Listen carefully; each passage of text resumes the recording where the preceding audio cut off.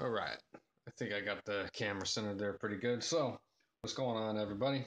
I wanted to talk about some Advanced Squad Leader. It's been a little bit since I've uh, highlighted it here at Epic Fox, so I wanted to go ahead and get back on track while I have the next few weeks off of work and have some available free time here. So, what we got down in front is, of course, Yanks. This is Module 3.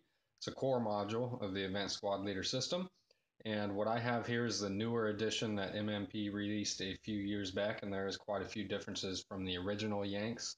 So if you are looking for or shopping around for a version of Yanks, the core module, I would highly recommend getting the newer edition because it's going to save you some bucks overall in the long run if you're trying to collect as much material as you can, as well as uh, it's going to have a lot more scenarios in there, a whole bunch of other stuff. So we'll go ahead and get right on into it. So uh, what this is going to have aside from the original version is you're going to have the paratrooper supplement that's going to be included in this. So that's one big thing.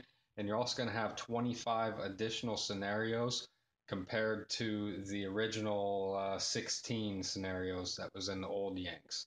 So you're looking at a total of um, a whole lot. I didn't do the math beforehand and so yeah, but there's a lot of scenarios in this, and it offers even more replayability to the ASL system. And of course, it's going to introduce the entire orders of battle for the American forces that were involved in World War II. So if you are interested whatsoever in using any form of Yanks American soldiers, then you're going to definitely need this module to proceed with your hopes and dreams for this system. But it's going to uh, have, like I said, the entire orders of battle, and there's going to be five different squad types: the half squads, leaders, all the varied vehicles, ordnance, support weapons, crew counters. Basically, it allows you to command every type of combat unit in use by the American Army during that theater of the ETO. Excuse me. So there's obviously there's going to be a separate uh, uh, module for the Pacific Theater, which we'll get into here in another video. I do have a couple other modules to review here. I got the Last Hurrah, West of Alamein, uh, Rising Sun, Armies of Oblivion, a couple others there. I don't want to give away everything, kind of keep you in some suspense there. But uh, back to this one. There's also going to be your chapter H in here, as always, and that one is going to be 24 pages. That's going to have detailed notes on guns and vehicles, etc., etc., all that stuff. And then there's going to be eight map boards in here as well. There's going to be 16, 17, 18, and 19. And then there's map board 24, 40, 41, and 46. And um, that's going to help you play all the scenarios included in this as well.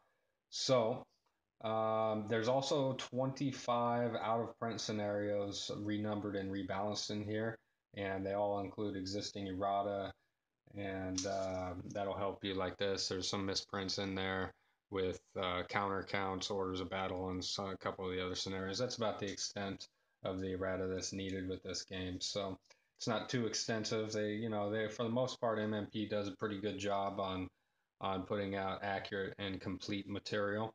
So that's one good thing about them. And uh, of course, this is not a game that you can purchase and play by itself. You're going to need the ASL rulebook and Beyond Valor um, along with this if you're hoping to use Yanks. So um, I hope you've previously gotten that point from other of my videos. Otherwise, I must be doing something wrong. But we'll go ahead and go into the box and see what there's going to be in there. And of course, there is going to be the MMP packaging slip right here, and as well as the errata that I've already mentioned to you briefly. And then you are going to find the chapter H, the vehicle notes right here. And that's going to start off with page H31, and it has the three ring binder, so you can slip this right on into your Advanced Squad Leader Rulebook binder if it's not too fat already. And you can see there's just going to be a whole bunch of uh, ordnance here. I'm going to go over this briefly here, but you know, you got M2A4 light tanks, M3s, uh, the Honeys, the Grants, all sorts of stuff. Um, and yeah, there's the M5A1 down there at the bottom here in the ordnance notes. And on the back of these are also going to have the you know, these statistics for them, rate of fire, armor, attributes, everything else that you're going to need to know. And then you're going to go on and you'll go through many different versions of the M3, M24, uh, M5 tanks here. The Allies just put out so many different versions of those those vehicles here, and uh, you know you move through the medium tanks, the Shermans, and uh, eventually the tank killers. You have the uh, combination vehicles here with the mine mine rollers and everything else. So there is an extensive amount of information that you're going to find in this chapter H, just like every chapter H. These are very good to sit down and read if you're into the equipment and ordnance and vehicles in World War II, whether it has, you know, whether you're interested in trucks, half tracks, the armored vehicles, um, you know, the anti-aircraft guns, anti-tank guns.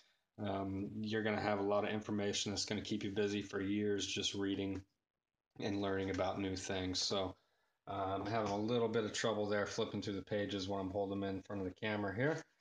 But uh, you know, you're also going to have scout cars, like I already said, you many many different versions of half tracks and the weapons that were mounted on those as well. So you got scout cars, reconnaissance vehicles as well.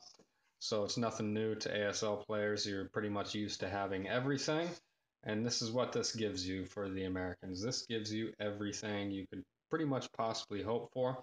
You know, there's other expansions and everything else that's going to add more in depth, uh, specific regiments, divisions, etc. And um, but you know, those are things that you can piece together one by one after you get your core module for Yanks. Uh, you're also going to have your rarity charts in there as well. So you have your vehicle rarity, your ordnance rarity, and a few others in there. And that's going to help you design your own scenarios if that's the sort of thing you're into for tournament play or whatnot. But uh, yeah, so the chapter H to me and all these modules was very entertaining to read and review.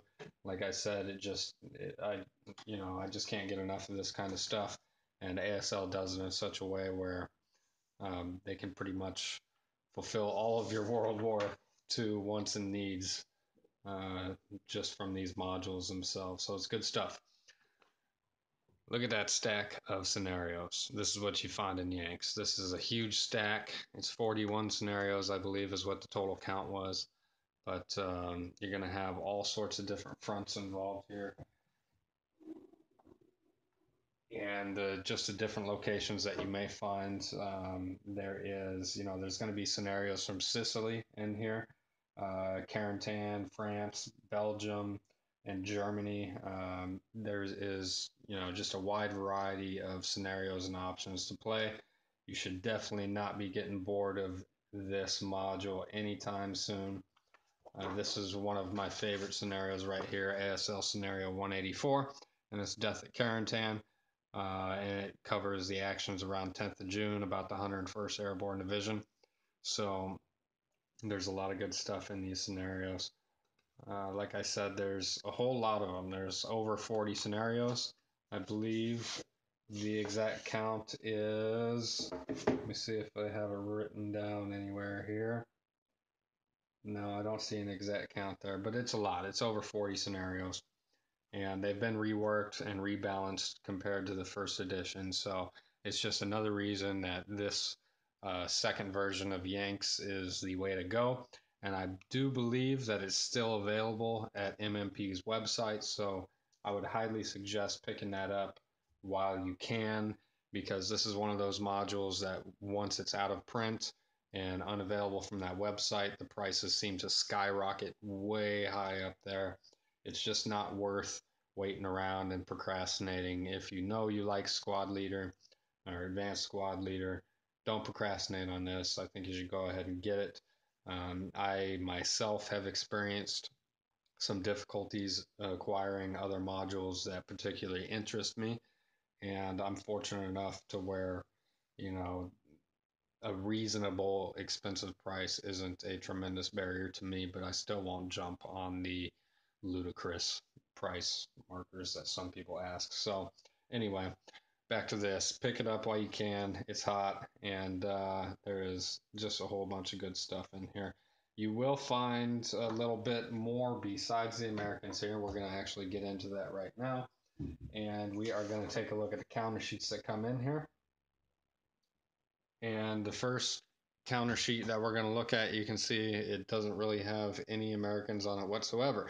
But you're going to have some new markers that are going to be included in this, as well as some more amphibious landing vehicles, stuff like that, that you've already seen in the uh, core module Beyond Valor. But then up here in this top left, you're going to have some more German units, and these are all going to be SS units. You can see they're pretty they're pretty uh, amped up there. They have uh, 838s with a um, superscript of 3 next to their attack value of 8.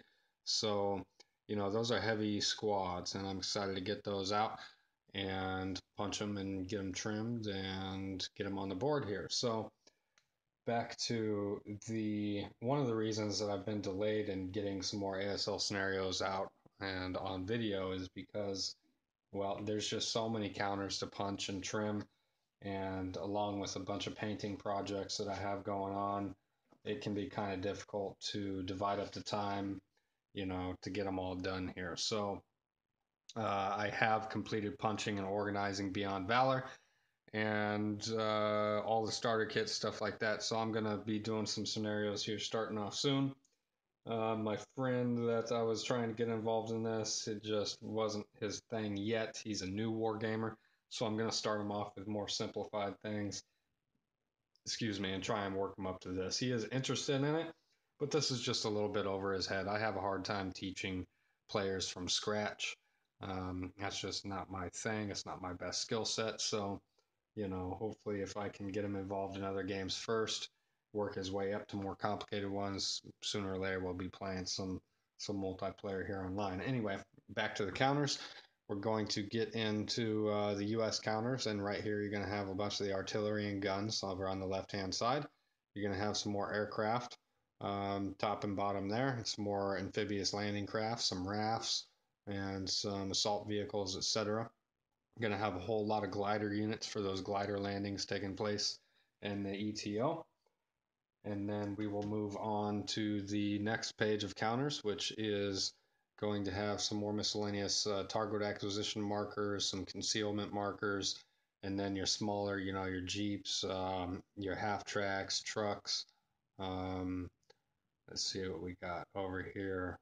Having a hard time seeing some of that stuff. It has, uh, yeah, the M16 half tracks, and M3 GMCs, uh, the LVTs right here. Um, not seeing yeah, it's a lot of LVTs here. do have a couple M4s down here in the bottom where my thumb's at, but and then it looks like uh, by the time we get to the four sheet, now we're getting into some of the armor here. It looks like we got a bunch of Shermans, Grants, Honeys, uh, some more half tracks with some anti-aircraft, uh, mortar half tracks, whole bunch of stuff, tank destroyers. Let me see what this is right here. M18, yeah. M18s. So, and then there's your mine roller vehicles right there, your Shermans with mine rollers. Whole lot of stuff. And then uh, afterwards, you get into a lot of infantry. And you are going to have your artillery crews right there where my thumb is. And then you got a whole heck of a lot of leaders in this area. You have a 10 neg 3 it's not too bad. And then a couple rookies down here where my thumb is. Down my bottom thumb, I should say. You have 10 commanders below them. And you have a whole lot of infantry. You can see these are 346, 236, 236. These look like half squads. So, and then you have their heavy weapons, satchel charges, flamethrowers, mortars, a whole bunch of different stuff. Good stuff. Here's your full squads. Looks like your elites are going to be 747s right here. Uh, below them, 747 elites, more 747 elites. Then you're getting into 667, 666, 666, 546 down here at the bottom. And then we're moving over here to 536s. And then you got a whole bunch of half squads there as well. A lot of half squads. So that concludes all the counters that are included in Yanks. Uh, it's you know it's not as many as what's in Beyond Valor, but of course you're only focusing on one faction there, the Americans. So that takes care of that. Now we get back to the boards here. And you can see you're going to have several boards with these big, thick waterways that are going to provide a lot of fun and use for those rafts and amphibious uh, assault vehicles and all sorts of different things. But once again, these are the geomorphic maps where you can put them together regardless and they'll always match up. You can pretty much grab two there any any time, any of them and put them together and they're going to match. See that? So those are always blasted to have to create your own scenarios and the quality of these maps is getting better. MMP uh, right now on pre-order, they are offering map packs for pretty much. I think there's two packs that you can buy that will give you every map available ever printed uh, in the ASL system, and they're redone on this heavy card stock here. So for those of you that have been using the old paper maps and you know that you wanted to upgrade to these maps without having to buy the modules and everything else. You can go on MMP's website right now. One of them is on pre-order, so you can get it at a pretty good price. I think about $150. The normal price is, I think, over $200 for those map packs. So if you have a chance and you're able to do that, I would highly recommend that. Uh, you can see here you're going to be adding new things in on these maps that you didn't necessarily see in uh, Beyond Valor. So you're going to have the bocage hexes, as well as uh, some other things there. You can see you already got some trenches dug out here, and some of these are gullies where the bridges are crossed and stuff like that. So uh, there's new uh, terrain features like this right there over the, my index finger is. Not sure what that is. I'd have to look that up there. But uh, in the ETO, there was, you know, a lot more unique terrain features as opposed to the wide open plains of Ukraine and Russia, stuff like that. And uh, we'll just take a look at a couple more of these maps, but there is a bunch of them in here, like I said. And I was looking for another one with a big waterway on it. Might have already passed it though while I was blabbing up. See here, here's a good farmland one, probably used for airdrops in there into the fields. And we got one more map, map 18. And this is going to do it. You can see you're starting to throw in a lot more unique features on the hills and elevation ups and downs, bocages on the elevations. Uh, it's good stuff, I think. So that is a look at Yanks ASL module number three. Like I said, it is available right now. It's not out of print, so I would highly recommend going out and getting it if you're into ASL and you don't have it already. Uh, once again, the newest edition is the one that's available at MMP. That's the one you want if you don't have a Yanks version already, because it's going to include a lot of the out of print material like paratroopers, a whole lot more scenarios. The errata has been corrected, stuff like that, and new balance on all the scenarios. So Anyway, that's going to do it for uh, Yanks. Thanks for joining me once again for my ASL series. And uh, I got several more of these modules to show you here over the coming days. So let's get them out of the way so we can start playing. Anyway, later on, guys, stay safe.